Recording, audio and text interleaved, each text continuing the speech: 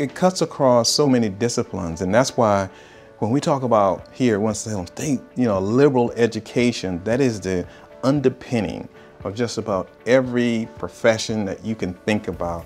If you talk to lawyers, for example, they will tell you that they were best prepared through taking English and writing and speaking.